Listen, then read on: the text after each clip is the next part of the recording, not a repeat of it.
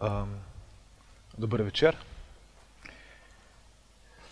Zdaj, um, jaz ne vem, je rok strašil, ne, da, oziroma preprečoval, da bi kdo delal z betonom ali delal reklamo. No? Sliši se zelo, uh, zelo komplicirano. Zdaj, jaz moram reči, ker imam ravno izkušnjo, da smo v bistvu delali z njim že nekaj projektov, da je v bistvu. Uh, seveda v, v praksi slišiš kakšen delček tega, ne, postopoma tako, da ni to hodono. Uh, pa v bistvu tudi, če izgre drugače, mislim, da dejansko te neke splošne stvari, ki jih je Rok povedal o tem, da um, uh, kaj, kaj mi lahko pričakujemo od betona, pa um, kaj v bistvu, uh, kaj primer investitorji pričakujejo od betona, da so to dejansko v praksi neke stvari, ki so zelo uh, včasih zelo, uh, zelo grejo mimo drug, druga, mimo druge, ne? niso, niso vedno najbolj samoumevne. Uh, tudi mislim, da arhitekti premalo poznamo uh, beton, premalo poznamo v bistvu, kaj se dejansko zdi, da naredimo, kaj dejansko beton kot uh, material, kakšne možnosti ima, oziroma kje so njegove omejitve. Ne? Recimo, meni se ta, ta dvorana, tu prej sem gledal, ki je v bistvu, ne vem, kaj je to, je to VB3, ni, VB2, meni se zdi v bistvu fajn. No. uh, mislim, da je te neke napake, ne, ki, so, ki so tukaj, niti niso, niti niso problematične, oziroma jih dejansko uh, spadajo nekako k betonu, k občutku uh, za beton. Uh, mislim, da se predvsem arhitekti moramo vprašati, zakaj in kdaj, kako in kako uh, uporabljamo uh, beton v projektih. Uh, drugače, to je slika našega biroja ki je v, v, v tej stavbi, v Astri od Savi na severja. Zdaj, um, mogoče tako na daleč zgleda, da je zelo slik, pa zelo, uh, zelo uh, lepa stavba, bila je prenovljena pred vem, petimi, desetimi leti. Dejansko od znotraj tile betoni, ki so bili potem pobarvani, so bili narejeni zelo grobo, uh, nič zelo fino in se še kljub temu, da pobarvan, se v bistvu vidi in se, se čuti ta konstrukcija. In na nek način jaz mislim, da, da uh, se betone, uh, pa betonske konstrukcije v objektih uporabljajo predvsem zato dejansko, da sodelujejo, da imajo prisotnost v arhitekturi, da sodelujejo z arhitekturo, skratka, da se en del ali ambient ali zonalnosti, da, da v bistvu so ustvarjajo uh, um, občutek oziroma uh, življenje v znotraj, znotraj arhitekture. Uh, Zdaj, arhitekti imamo vedno problem, kako izbrati fasado, ne? kako izbrati material. Zdaj, um, vsaka hiša je tudi hiša uh, nekega, neke želje ali pa nekega pričakovanja, nekega poželjenja. Uh, kot tale Janko pa Metka, v bistvu zelo, uh, zelo v bistvu se mi zdi včasih gledamo na, na, na hiše kot na neke stvari, ki, kjer se potem pač izbere fasada, izbereš material. Ne? Uh, mi poskušamo biroje predvsem na nek drug način uh,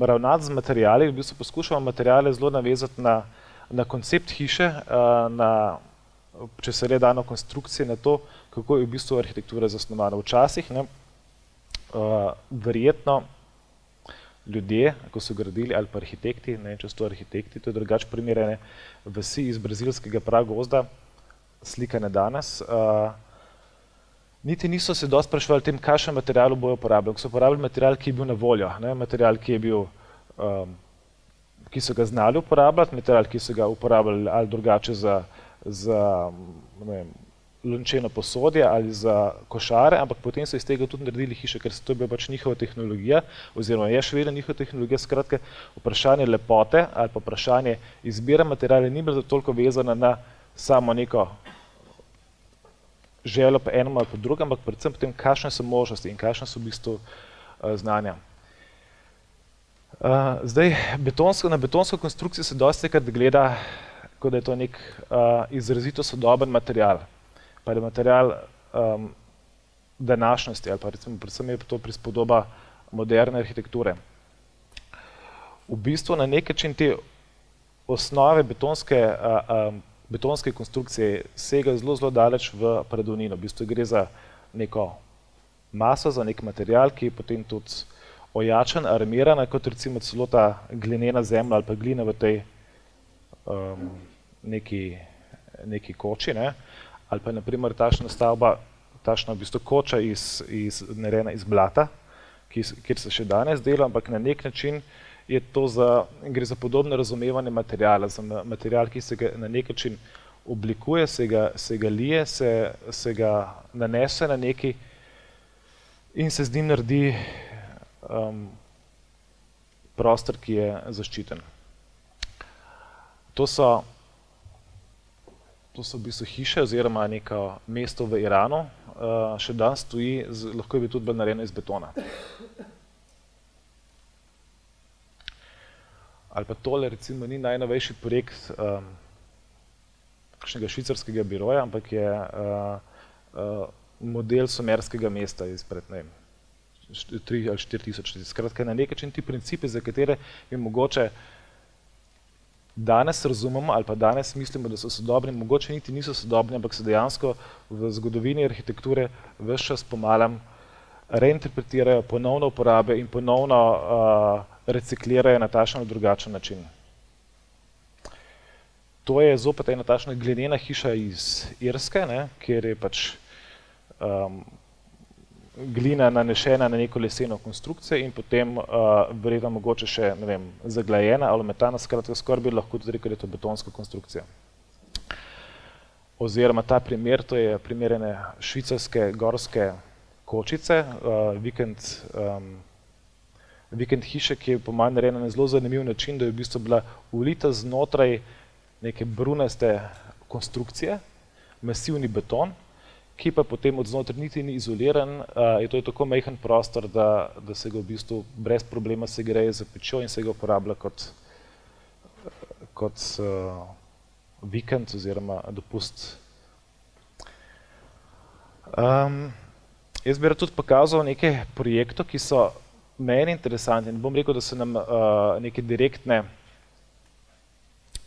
reference pri, pri, de, pri našem delu, ampak v bistvu so za mene predstavlja neko uh, arhitekturo, ki je, ki, ki je delala sicer v nekem bodobu, to so očitno 80-ta uh, v, v Švici, to je drugače arhitekt Peter Merkli, uh, kjer je v bistvu hiša narejena zelo, zelo značilna, recimo mogoče postmodernem slogu, ampak um, po drugi strani njen izraz, njen, v bistvu, njena prisotnost materijala, betona, cele hiše je narejena izlita iz, be, iz, be, iz betona, sicer potem deloma pobarvana, uh, se potem kaže tako v notranjosti in v, kot v zunanjosti objekta. Skratka, betonska konstrukcija, beton, beton kot material je prisoten in ustvarja ambient uh, in, in podobo in pojavnost hiše. Potem en drug tašen primer, uh, meni enako zelo ljub je um, grški arhitekt Aris uh, Konstantinidis, ki v bistvu dela tašne izjemno enostavne betonske, betonsko kamnite konstrukcije, za katere bi težko rekel, bi lahko rekel celo, da so zgrajene bile pred tisoč let ali pa so bile zgrajene danes. Skratka, neke, neke brezčasne konstrukcije, ampak ne zaradi samega trajnosti materijala, ampak predvsem na nek način zaradi razumevanja uh, narave materijala samega in oziroma kaj se s tem materialom lahko naredi, kako se s tem materialom definira prostor. To je en primer, betonske konstrukcije, ki mislim, da je bila po mojem nekako našpricana na neko, na neko mrežo ali nekaj takega, enega belgijskega arhitekta. Jaz mislim, da izolacije sploh ni, ne. Um, to je ta arhitekt in njegova žena, še, mislim, mogoče še vedno stanujeta, vidim, da, da sta tudi precej zavita v obleke.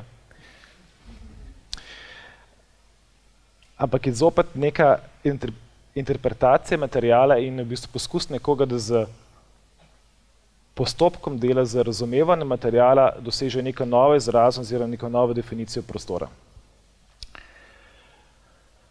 Potem tukaj zopet belgijski arhitekt, uh, um, izrazito funkcionalističen, ki pa sicer ima neko to, uh, nek ta mal drugačen, drugačen princip, ne tako zelo čist, ne, na, na zunaj v bistvu tudi, ampak uh, v bistvu na znotraj zelo um, zelo mogoče brutalen, to je tloriste hiše, to je arhitekt uh, uh, Julian Lampens, um, ki, je, ki je v bistvu z izjemno nestavno konstrukcijo s tremi stenami in z eno betonsko streho, ki stoji na teh treh stenah, uh, v bistvu dobil, težko bi temu rekel, zelo modernističen prostor. Za mene je to prostor, ki je po eni strani zelo sodoben, po drugi strani pa tudi na nekaj način zelo primitiven, zelo enostaven. In to se mi zdi, da je mogoče ena izmed značilnosti ali pa vsaj stvari, ki v, v betona, v betonskih konstrukcij, betonskih stavbah, ki, uh, ki nas zelo zanima na nek način, kako, za, kako izrabiti ali pa odkriti last, lastnosti betona, odkriti lastnosti betonskih konstrukcij in jih uporabiti za enostavne, pa potem na dru, nek način tudi v bistvu presenetljive, presenetljive uh, prostorske situacije. Ali pa to je tudi en znan primer um, iz uh, Brazilije, um, gre za, za privatno hišo uh, arhitekta Mendesla Roša, ki je v bistvu zopet neke vrste betonska konstrukcija, znotraj katerega na nek način se, se, se, znotraj katerega se formira prostor. Težko bi rekel, je, oziroma lahko bi celo na nek način, uh, glede na to, da tam niti ni potreba po nekakšnih um, posebnih klimatskih um, zahtevah v smislu izolacije, da na nek način zgrajena konstrukcija in znotraj te konstrukcije, kot da bi se ti v vrševino naselil se, v bistvu naselijo ljudje, se naselijo, uh, se naseli po hišču. Seveda v, v, v Sloveniji se na ta način niti ne da delati, ampak na nek način ta intencija, da, da je material uporabljen v svoji osnovi um, in da je, da je prisoten v arhitekturi, prisoten z, z, s tem, da ti vidiš, kakšna je konstrukcija, da to konstrukcijo občutiš. Um, to je neka, neka tema, ki nas v bistvu pri našem delu uh, precej zanima. Zdaj, tale en konkreten primer, tukaj, zdaj, to preko ne je verjetno nek ostanek neke, um, ne vem, neke hiše ali neke lope ali uh, nekega skladišča ali neke mogoče avtobusne postaje. Morda pa tudi ne, morda je pa tudi v bistvu tako zasnovana arhitektura. Lastnost betonske, betonske konstrukcije je, je tudi v tem, da na nek način je tudi, v, tudi recimo čez 10 ali pa 20 let še vedno, še vedno ali pa morda tudi čez 100 let še vedno v bistvu ob, obdržiti neke jasne prostorske uh, definicije, ki jih, je, uh, ki jih je že v začetku postavljal. Jaz bi pokazal, oziroma v nadaljevanju, par naših projektov uh, in predvsem poskušal razložiti pri vsakem za teh projektov, kaj nas, kaj nas je zanimalo, zakaj smo bili se odločili za, za uporabo betona, zakaj ne zaradi nečesa drugega. Uh, pri, vsakem, pri vsakem izmed projektov so razlogi drugačni, oziroma razlogi niso samo, uh, samo neki materialni razlogi, da smo se pač želeli uporabiti beton kot uh, ne vem, fin material, ampak so bili v bistvu bolj, bolj mogoče celo neki programski oziroma neki tektonski razlogi, ki, jih, ki so od primera do primera drugačni. To je v bistvu prva hiša, ki smo delali, ker, boste, ker kot vidite, je ta konček betona um, zelo mehen. Mogoče se ga takrat tudi nismo upali ali pa nismo znali uporabiti. To je dejansko v tem primeru hiša, ki je lesena hiša, sicer narejena na jekleni konstrukciji, ampak uporablja uporabljajo samo en kos betona, en podstavek, ki je skladišče, ki je neizoliran, na kateri stoji v bistvu ta hiša most. Uh, in v tem, v tem smislu je prišlo tukaj samo do tega nekega malega izraza um, betonskega skladišča, ki potem postavlja tudi baza za, celotno, za celoten vrt in za celotno hišo. Skratka, na nek način za, za eno igro dveh materialov, oziroma dveh tektonik, ki so se srečali na tej majhni parceli od 500 kvadratnih metrov. Potem je tu naprimer drugi projekt, to je, gre za, za hišo, ki je, ki je bila zgrajena ravno tako v okolici Ljubljane, v, v Perničah. Hiša, ki je v bistvu na nek način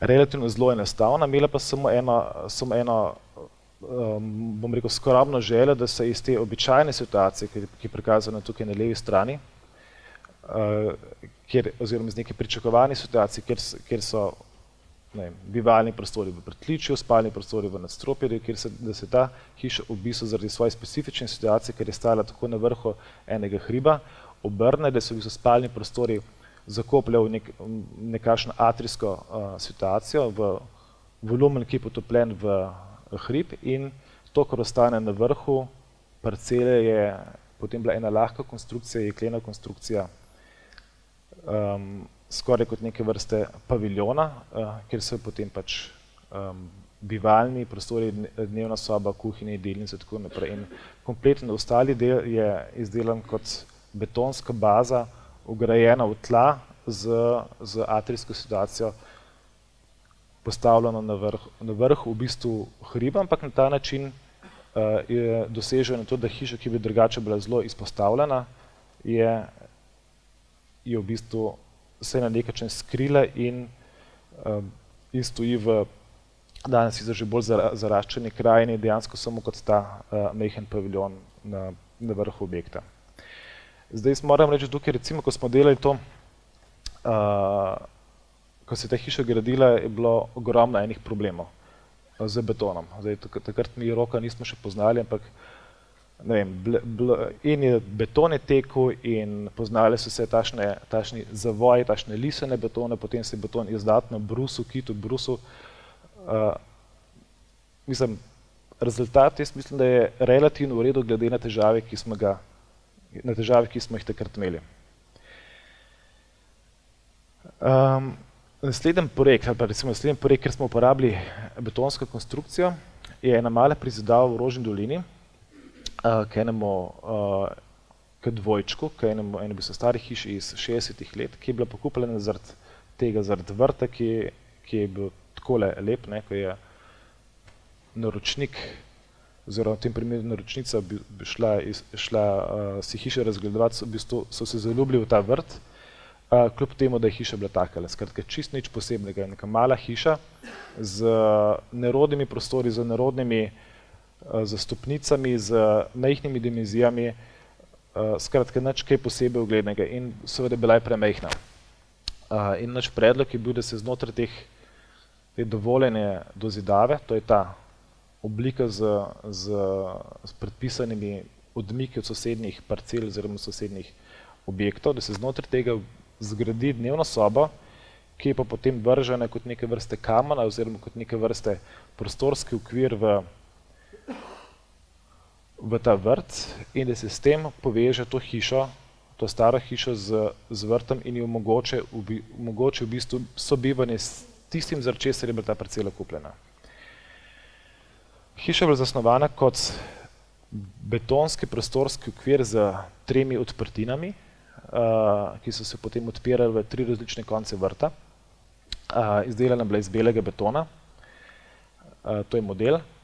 Uh, narejena je bila tako, da v bistvu je tudi dvignjena od tal, to pomeni, da, da je praktično z vseh šestih strani, če, ne, če ima ta hiša, ta dozidava sploh šest strani, vseh šestih strani je v bistvu vidna betonska konstrukcija.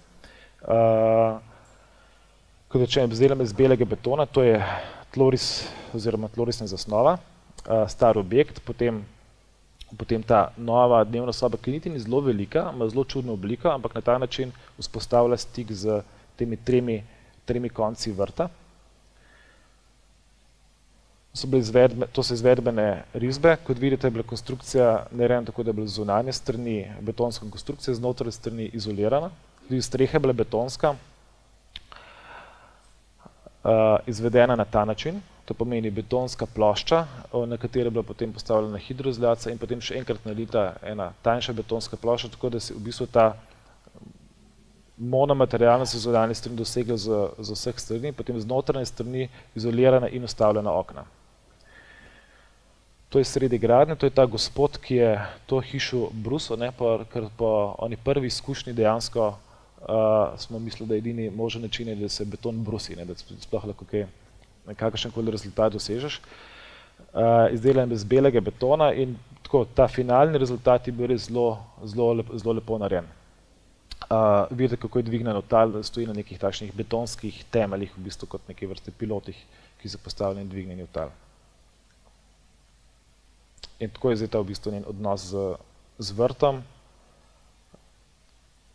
In moram reči, da še dan zelo rad grem to hišo pogledat, ker um, tudi ti lastniki so en tak zelo, zelo fin odnos spostavili z za hišo in je dejansko opremili po svoje, zelo šarmantno.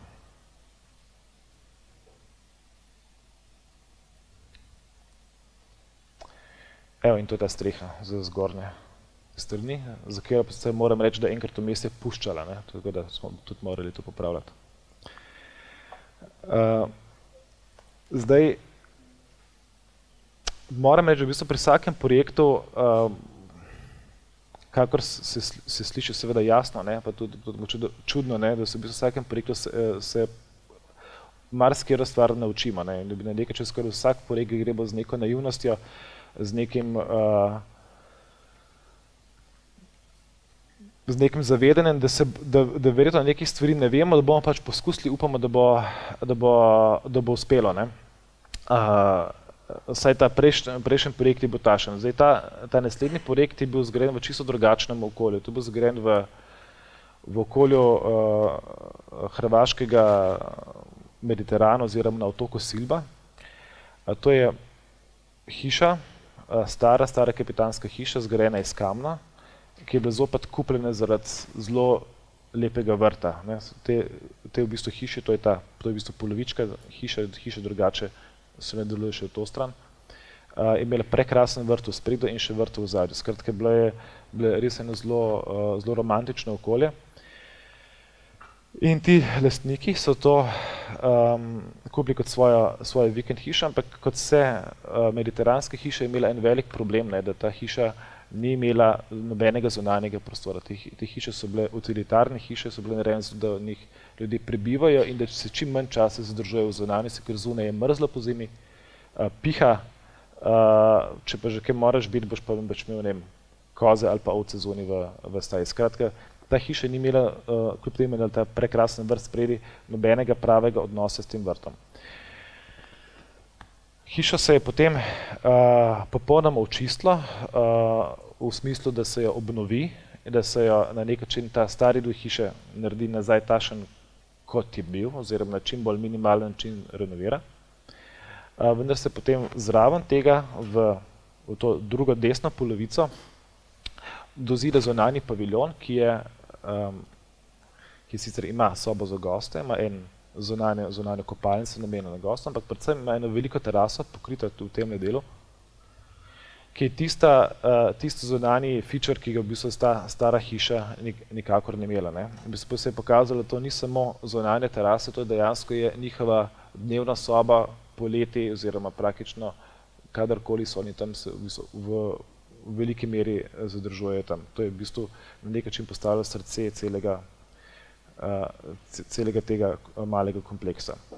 Spred, to je stara hiša, na desni strani nove hiše, ki je narejena iz betonske konstrukcije, zelo enostavna konstrukcija, zelo enostavni detalji, predvsem iz razloga, da dejansko tam se je lahko delalo samo z lokalnimi mojstri, ki so znali zlagati kamen, pa tudi nekaj preveč, ne, zato ker tudi niso bili originalno iz Silbe, ampak so ne, prišli od nekod drugot, uh, ki so znali betonirati, ampak tudi tako bolj švah, ne, skratka razen naj, najbolj enostavnega betona in najbolj stavne uh, kamnite konstrukcije oziroma kamnitega zidu se tukaj praktično nič ne dalo prevoščiti.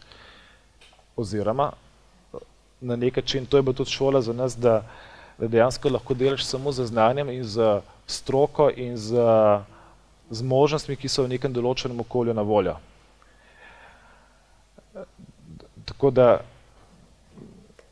Mislim, da je res to, kar je rok rekel, da je na nek način v Sloveniji težko delati betonske hiše, zato ker enostavno izvajalci niso vajeni tega, imajo popolnoma drugačen standard. Tudi arhitekti nismo navajeni tega in statiki ne znajo tega delati. Projektanti betona, rečemo, se mi zdi ne. ja, ne.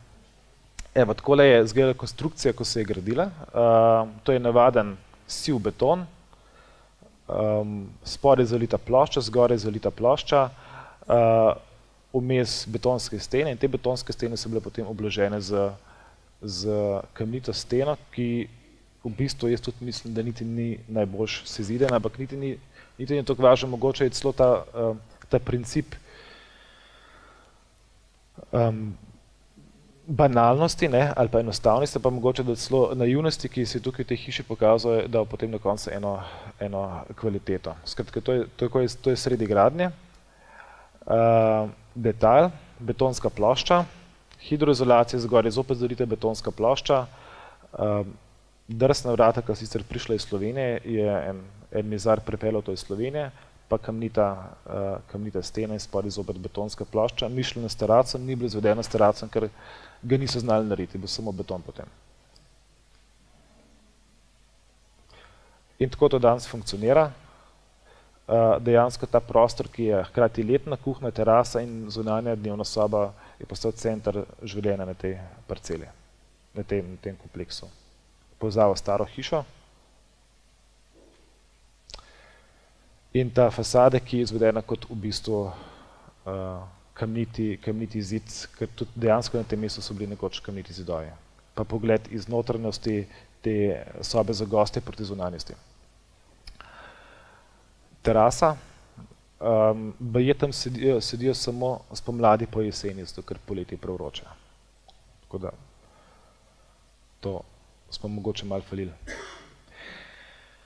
Um, potem bi pokazal, uh, eno hišo, ki se je ravno tako kot predprejšnja zgradila v Rožni dolini, uh, na mestu tele, tele, tele hiše, ki tukaj stoji, to je v bistvu posnetek izpred gradnje. Parcela bi enako kupljena zaradi tega nekega lepega vrta oziroma lepega pogleda v to zunanje sveta. Uh, obstaja en ta vizualni kontakt z, z ozadjem, ki je v principu nezazidljivo.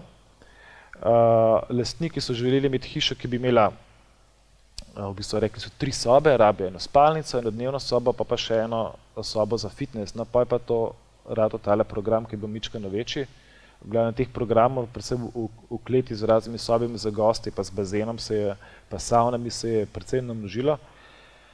Tako da smo v bistvu mi na koncu predlagali, da je nekako sestavljeno iz treh objektov, iz ene neke vrste atejske hiše v, v spodnjem delu, za enega kot nekega paviljona izdele, izdelanega iz betonskih škatel in uh, ki se v bistvu na nek način odpira nas in zgore še ene, še ene škatle z teraso, v kateri je spalnica.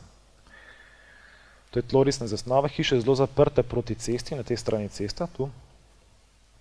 Uh, potem se po stopnicah dvigneš na višji, višji nivo, kjer se kjer se pa v bistvu za betonsko steno začne najprej ta ostopni in kuhinjski del, potem dnevna soba, ki se odpre preko terase proti zunanjosti in potem proti jasno temu zelenemu pogledu, ki, zaradi katerega je bila parcela kupljena. To je hiša. Uh, ne se tukaj predvsem zanimala, zanima en aspekt, ne, da, da na nek način se hiša, ki se zgradi v, v konstrukciji, da ta konstrukcija tudi ostane vidna na koncu, ne, da v bistvu tudi so opaži vidni, da tudi uh, um, so verjetno neke napake vidne, ampak skratka, da, da, da obstaja, obstaja ta, ta en sistem, da to, kar ti zgradiš, je potem tudi prisotno v, v tej končni realizaciji. Ne. Evo, rok, tukaj je ena velika napaka. Ne, glede. Ne. Ja. Uh, beton je bil brušen, uh, zalit z navadnimi opaži, če smo že govorimo o sistemih z navadnimi um, okvirnimi opaži, framak, se pa ne vem kaj je bilo, in potem bi bil zbrušen 2, 3, 4 mm, ponekod tudi centimeter, ker je bil tok neravno zabetoniran. Po stopnicah se je stopil hiša in potem je ta, se odpre v bistvu pogled proti, proti um, temu zelenemu zadju, to je terasa, uh, z z v bistvu tem nekim odnosom spostavljen med betonsko konstrukcijo, med lesenim oknom, ki je skozi katera, kot francoska vrata, kot neka škatla, skozi katere se v bistvu hodi v zunanjost, in fiksno ostavljenimi steklenimi paneli šipami, ki so stavljeni v strop in v tla, ki so na nek način pa ti panoramski pogledi proti zunanjosti. No, jaz sem še vedno vesel, da ta konstrukcija da, ni počla, kolikor vem, ni bilo pa nobenega skočljivega betona, tako da jaz mislim, da bolj sreča kot, kot kaj druge glede, in to so bili tako zelo dolgi, predvsej dolgi in obremenjeni uh, nosilci. Tloris, uh, lahko vidite te tri uh, betonske škatle, zopet gre za sistem uh, zunanje betonske konstrukcije in izolacije iz notrne strani. Eh, to je mm, tipičen detalj, betonska stena, debeline, mislim, da je bila 22 cm uh, in ustavljena šipa spode in zgore in potem ti cokli, ki na terasi pogledajo ven, so bili liti naknadno na licu mesta. Prerez hišo v bistvu zasede celotna parcela s tem, da se, da se njen vrst zgodi kot streha streha na tej bazi in v bazi so potem skriti atri, bazen, še en atri, soba za fitness oziroma neka delovna soba in potem ostali servisi. To je ta spodnji del. En atri, drugi atri pa bazen, pa potem pogled iz vrha, iz te eh, terasne etaže, v kateri je spalnica, proti temu zelenemu zadju.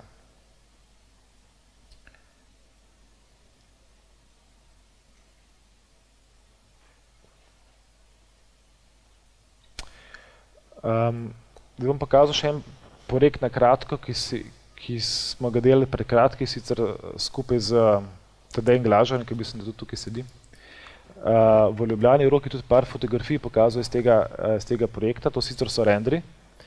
Uh, gre za trostanovansko hišo v Ljubljani na Prulah, uh, ki v bistvu je na nek način konstruktivno zelo enostavno zasnovana kot neka serija plošč oziroma prek, plošč s prekladami, ki stojijo na, na um, slopih, betonskih slopih, postavljenih v, na, sam, na sam rob konstrukcije, uh, ki, ki v bistvu držijo, uh, držijo te plošče in na nek način potem tudi definirajo poglede iz zunanjosti proti, iz notranjosti proti zunanjosti predvsem.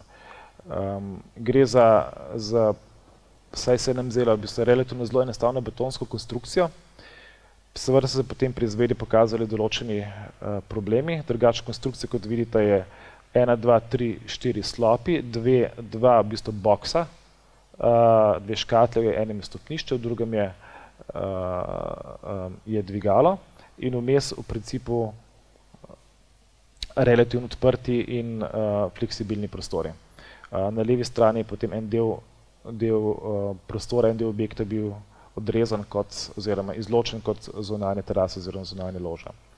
To je prerez. Um,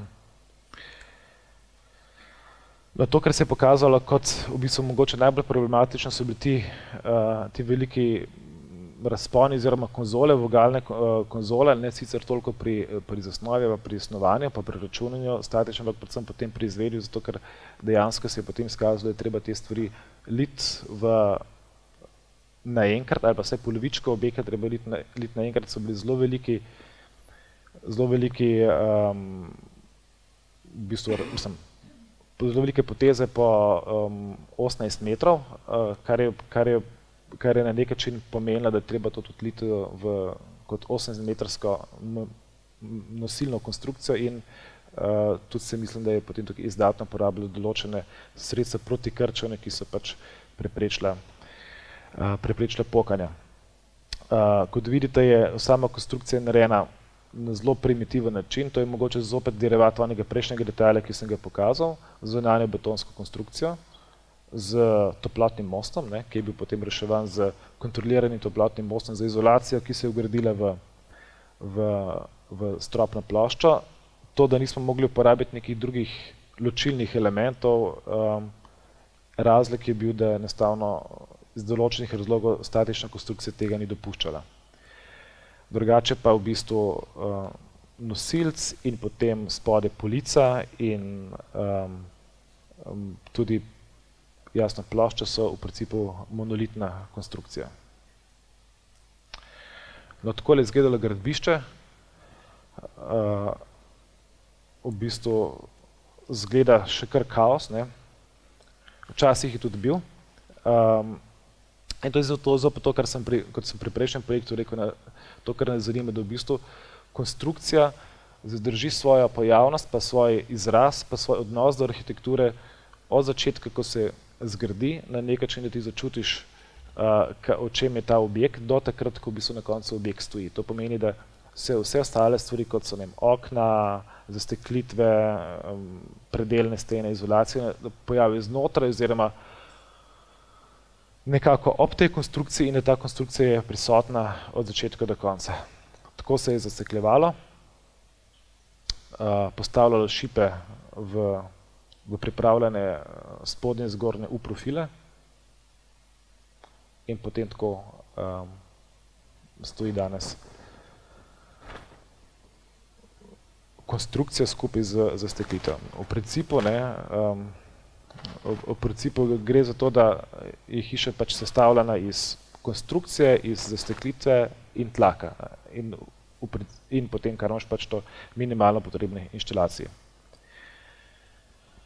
Um, zdaj bi pokazal en projekt, ki, je, ki smo ga delali kot natečaj, nismo dobili, uh, nismo zmagali, medtem je ta projekt tudi že zgrajen, to je um, ta zmagovalni projekt je zgrajen, to je v Švici v Bazlu, gre za stanovanski kompleks na mesto neke otroške bolnice, ki se je izselila, to je tukaj, to je uh, reka Ren, ki, ki gre skozi Bazel in, in v bistvu bila ena fenomenalna lokacija, tik ob vodi, kjer se je gradila en kombinacija v bistvu luksuznih in uh, manj, tudi manj luksuznih stanovanj kot, neka, kot, neko, kot nek nov poskus združitve različnih uh, socialnih struktur. To je stara bolnica in uh, to je naš projekt, kjer smo v bistvu, uh, glede na količino programa, ki je bila zelo velika, poskušali razvrstiti program na ta način, da se je kot neke vrste kača za stanovanje, ki zaradi tega, ker, ker so tako razporena, dobijo vsa pogled proti reke. Skratka, vsa dosežejo, vsa sad dobijo tisto, tisto za česa je ta lokacija bila izbrana. Um, poleg tega um, je, bil, je bil predlog na tečaju tudi tem, da se celotno hišo dvigne od partere in se spodi v, v prtliču dobi odprt mestni park, nekaj, nekaj stvar, ki naj bi hiša podarila, ki naj bi jo hiša podarila mesto Bazlo. to je bil um, pač pogled pripravljen za natečajni projekt. Objekt je stavljen iz štirih, uh, štirih etaž, ki so zložene druge na druge in tvori neke vrste mostno konstrukcijo, uh, betonske plošče, ki potem stojijo na takšnih betonskih klocih, ne, ob stopniščih, z dvigali, ki podpirajo konstrukcijo znotraj v pritličju, ampak potem tudi znotraj vseh ostalih etaž. Vsi ostali umestni razponi pa da bi bili obešani z, z zgornje etaže, kjer so bili, kjer so bili uh, vzdolži nosilci, kot neke vrste uh, obešena mostna konstrukcija, kjer vsake etaža v bistvu stoji na teh kablih postavljenih v coni oken okrog in okrog celega objekta. Zdaj, konstrukcija zagotovo ne bi bila enostavna, uh, nam se je zdela interesantna, lahko pa tudi, da je, bila, da je izgledala malo draga.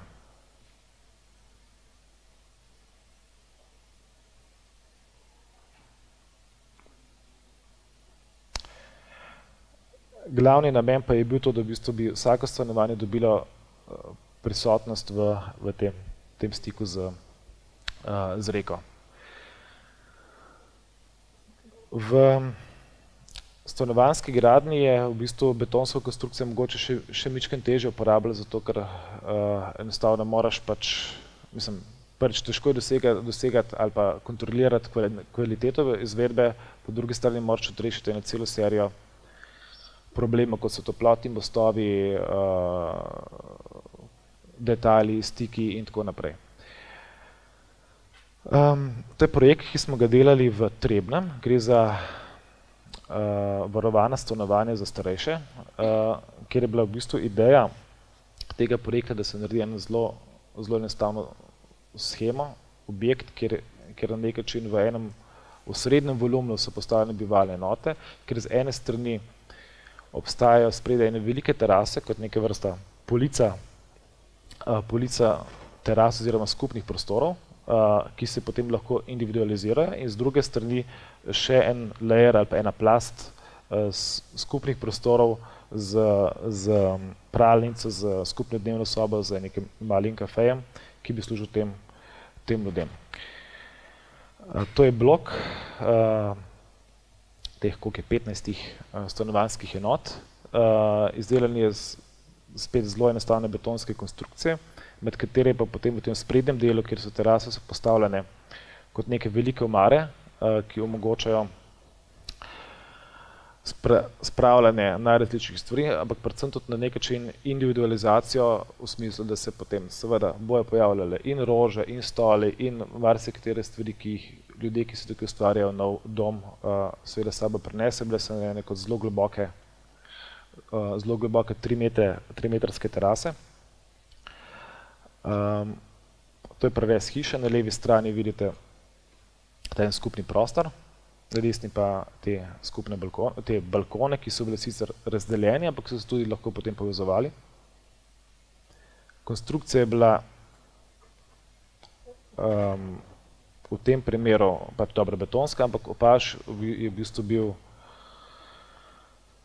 Ne spomnim se čisto točno, ampak mislim, da na, na ta navadni okvirni paž, da so bile potem nabite gor lesene deske uh, in se v bistvu dobil ta uh, odtis lesene, uh, lesenega paša, ki, je, ki ga v bistvu danes relativno že zelo težko dobiš, ker pač pomeni eno veliko ročno delo, ampak kljub temu so to nekako uspeli narediti.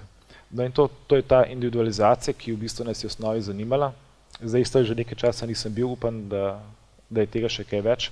Skratka, in rože in vse stvari, ki bi se pride zraven, so, so tiste, ki, eh, ki na nek način pomenijo življenje v, v, tem, v tem objektu. Objekt sam pa mogoče zgleda brutalno, ampak za nas je predvsem to bil poskus, da se ga postavi kot okvir za življenje, ki se naj potem tukaj znotraj tega zgodi.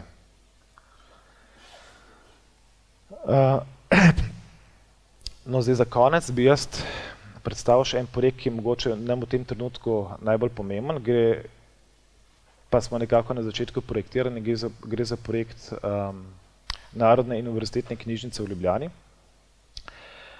uh, ki je v bistvu zelo kompleksen, pa zelo, zelo težek projekt zaradi različnih razlogov. Uh, en izmed razlogov je sigurno, ker je pač to projekt, ki bo vedno imel konotacijo um, plečnikovega nuka oziroma nuka ena.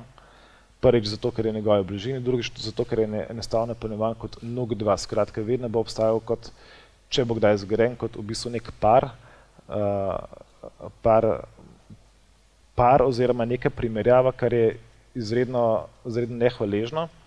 Po drugi strani pa tudi vprašanje, uh, za arhitekta na, na kak način, ali se sploh um, na kak način se loti tega, ali se razume to kot tekmovanje, ali se to razume kot v bistvu nek, um, neko zanikanje, da te to sploh ne zanima, ali v bistvu gre za to, da se poskusi vzpostaviti neko določeno relacijo z prvič podobnim programom in z, z objektom, ki ima na podoben način seveda danes še mnogo večji nek nacionalen oziroma nek družbeni pomen.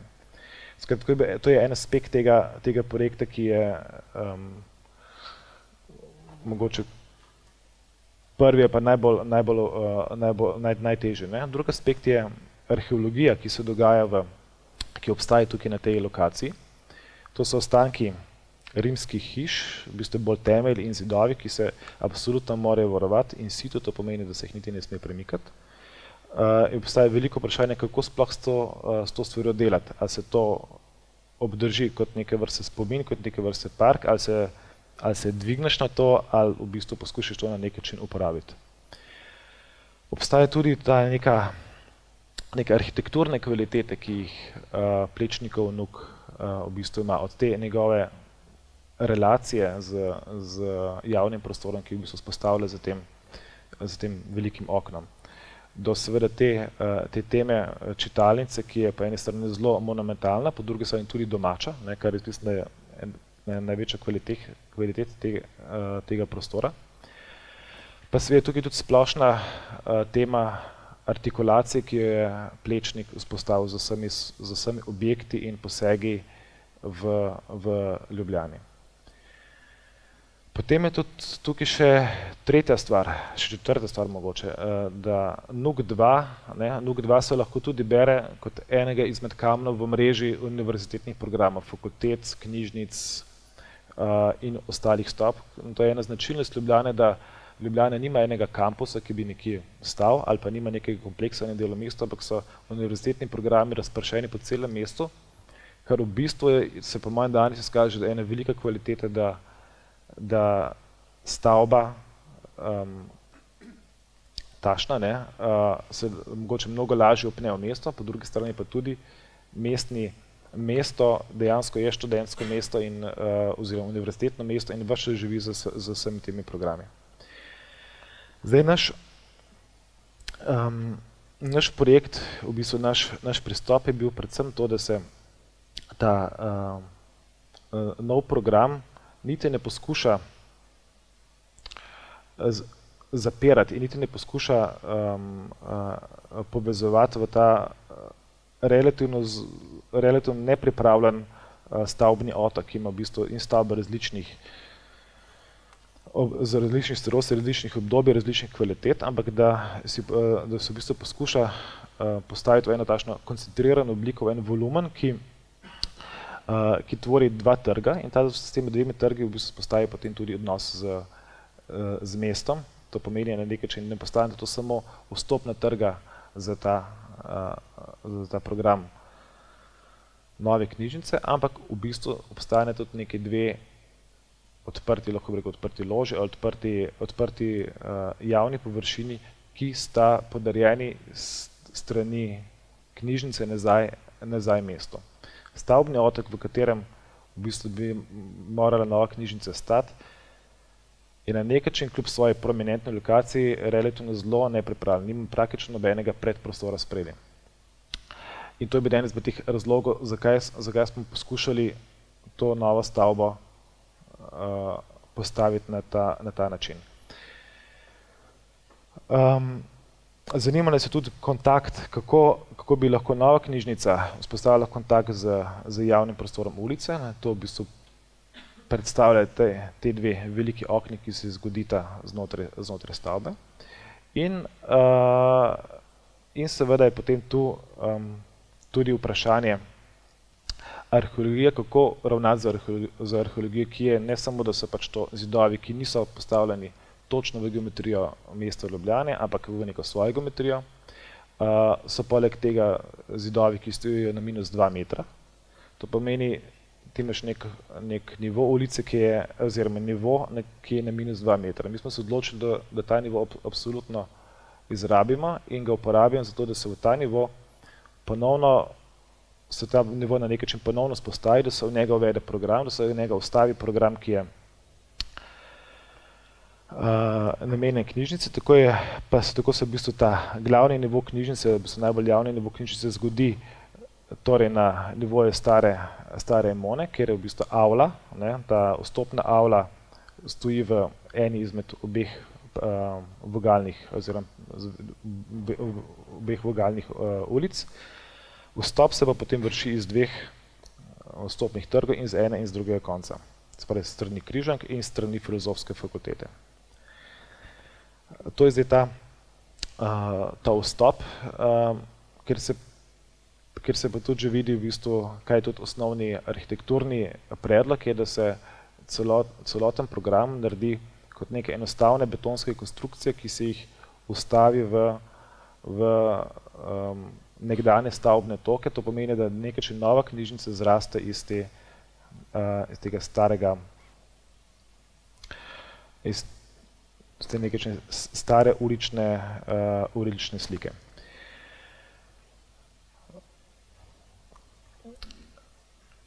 Um, to pomeni, da dobimo v bistvu neke te glavne um, vertikalne vozle, kot postavljene kot betonske škatle, vstavljene v, v, pro, v prostore sta, um, prostore nekdanjih hiš in na ta način, da se, se ponovno spostavi ulična, ulična linija. Potem na drugi strani je eh, zopet ena stena ostavljena, zopet, zopet v to neko ulično linijo, to je glavna štrelcijska stena in okrog in okrog obod, obod uh, objekte, ki je pa potem tako razmaknen, da, da, da se dobi v bistvu čim manjše, čim, manjše, um, čim manj motečega, moteče konstrukcije v tem umestnem prostoru. Uh, knjižnični nivo. Knjižnični nivo se, uh, se zgodi tako, da se preko um, vstopne avle in glavnega informacijskega pulta oziroma informacijske točke v sredini preko velikega stopnišča dvignemo v, v osrednji prostor knjižnice, ki, ki je izoblikovan kot um, večetažna čitalnica, večetažen prostor um, v smislu nekega povezovalnega prostora, ki je pa potem um, izoblikovan kot, kot neke vrste platforme z različnimi vrstami čitalnic, delovnih prostorov, uh, prostorov skratke, ki so namenjeni uh, delu, študiranju uh, in tako dalje. Vsi ostali knjižnični programi, to so, se zgodijo v dveh krilih spode in zgore, uh, ki, se, ki, ki v bistvu tvorijo, ki, ki po, le, po spodnji in zgornji stvari uh, zapirajo kanjon med obema, uh, kanjon, kan, zapirajo oziroma tvorijo kanjon, kanjon te uh, glavne čitalnice. V zgornjih etažah so potem seveda jasno pisarne, skladišča in ta, to je pogled na ta osrednji prostor te glavne čitalnice. Jaz se je predvsem zanimalo, kako bi pri, pri takem objektu lahko zasnovali konstrukcijo objekta na ta način, da bi bila v bistvu stalno prisotna, prisotna tako v notranjosti kot, kot v bistvu zunanjosti tako da so vse, vse notranje konstrukcije izdelane v betonski konstrukciji, zamišljene v belem betonu. To je zdaj drugačen pogled na model, na ta osrednji, na osrednji prostor čitalnice z vsemi temi različnimi platformami.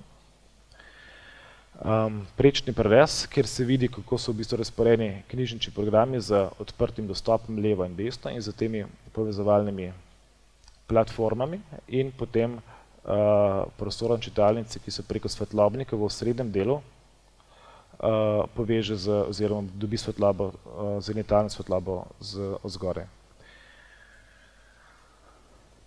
Uh, glavne konstruktivne vsi, um, ki omogočajo te uh, raz, uh, recimo, najbolj fleksibilne razporeditve programov. Um, po drugi strani nas je pa zanima, zanima še, še en aspekt. Um,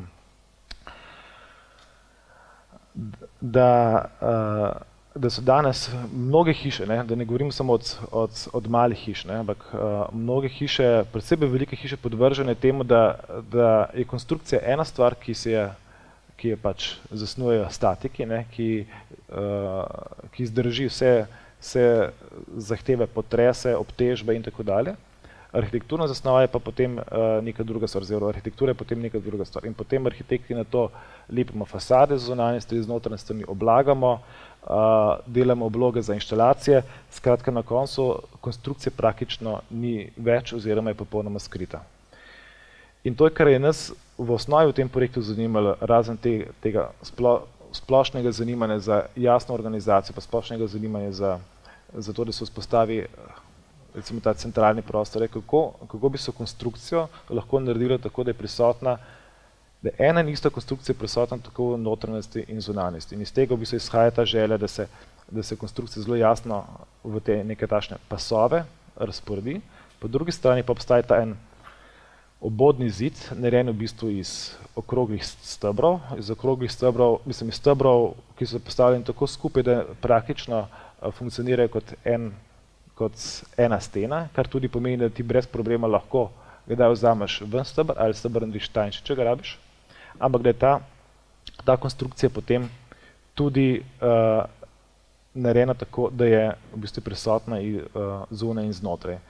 In zato, zato so ti okrogli stebri v bistvu razrezani uh, in vmes ostavljene za steklitve, to pomeni, da, da v bistvu na nek način um, njihov, njihov uh, nji, um, svojo prisotnost ne, ohranijo tako od zunaj in od znotraj. Um, to je drugačen umetniško delo od, um, um, od ene umetnice, ki, ki je v bistvu raziskovala ta prazen prostor, sprav, prostor med knjigami. Ne, na nek način uh, uh, zanimalo ne, tudi, kako se v bistvu prostor, ki nastaja med knjižnimi policami, kako se v bistvu navezuje na konstrukcije, kako se v bistvu ta umestni prostor navezuje na, uh, na zunanjost. Skratka, da kljub temu, da je to recimo fleksibilnost, da, je, ne, da mora biti seveda fleksibilna, da, mogoče, da ti omogoča tudi lahko različne programe uh, spostavljaš, da vedno obstaja ta nek skriti ritem fasade in programov, ki ti, ki ti v bistvu drži uh, in artikulira prostor. Uh, to so eni plečnikovi stebri, jaz moram reči, da niti ne vem, odkot so, uh, od, katerega, od katerega projekta. Um, vem, da je ena taka referenca, ko smo delali ta natečaj, uh, da se v bistvu za repeticijo enih in istih elementov da dobiti in eno pojavnost in en jasen arhitekturni izraz. Zdaj pogled iz notrnosti knjižnice,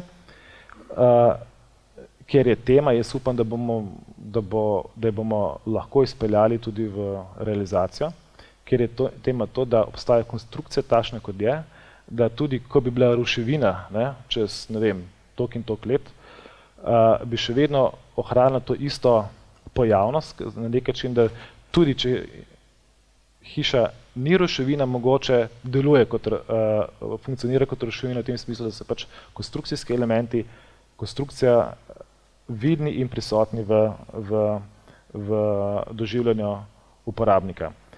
Tako so v bistvu vsa tla ustavljena um, mimo konstrukcije, vse inštalacije so, so v tleh, vse luči so postavljene na uh, police, na stropu ni nobenih luči, prezračevalnih kanalov, šprinklerjev, uh, senzorjev in podobnih stvari. Zaenkrat. um, pogled od zunaj, uh, kjer je pač uh, vidna ta, ta uh, repeticija, uh, kjer smo pač poskušali potem tudi razviti to temo, da se ti stebri lahko eni stanjše, eni zdebelijo, da so v bistvu v zgornjem delu, kjer so skladišča, ti stebri združeni v bistvu zaprto stene, ker ne, sme biti svetlobe, da tam, kjer je um, tam, ker je nujno, da se rabno več svetlobe, se te stebre razmakne oziroma stanjša, oziroma se jih sploh zgubi, kot je v primeru tega velikega okna, ki gleda iz glavne čitalnice proti mestu.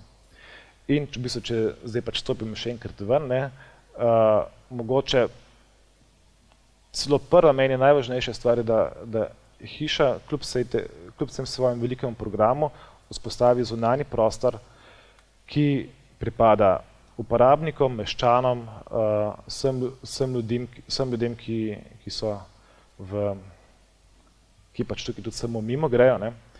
Uh, to je vhod strani filozofske fakultete, vhod strani križank,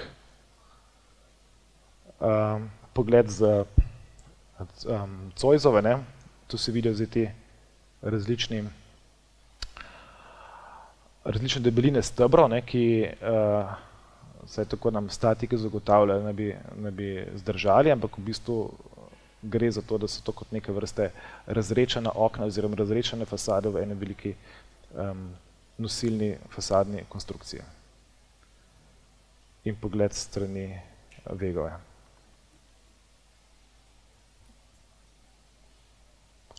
واضحه